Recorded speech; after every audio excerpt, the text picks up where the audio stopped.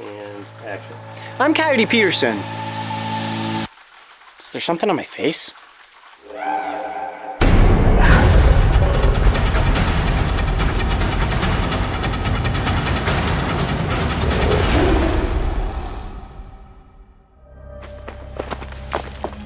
When exploring the rainforests of Costa Rica, if there is one thing I can guarantee, it's that you are certain to come across many different species of creepy crawlies. I don't know what species of scorpion that is, but it's got one wicked stinger. And while each and every one is intriguing, one of my personal favorites was definitely the tailless whip scorpion. I like your camera on. Yep. See if I can get him. Got him. Nice. Yeah, look at that.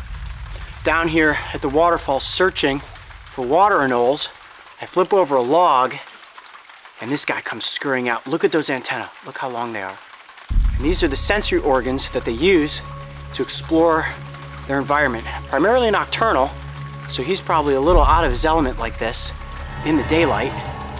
Getting him just sit still on my hand there. Out here searching for other little invertebrates that they can feed on. You see those pedipalps up front there have a bunch of big spikes on them, and I imagine that to catch his prey, he thrusts those out, grab things, and then shove them into the mandibles. What's really cool is that it can hold on the underside of things. Like if I tilt him like this, look at that. All those little hooks in his feet just keep him right in place. That is so cool. And when I had it on my face earlier, I could feel all those tiny little hooks going into my skin. Is there something on my face?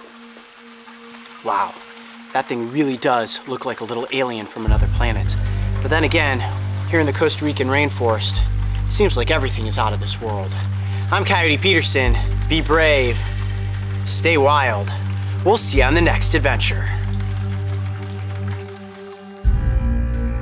If you thought this whip scorpion was creepy, make sure to check out my encounter with its bigger cousin, the vinegaroon. And don't forget, subscribe to join me and the crew on this season of Breaking Trail. Oh.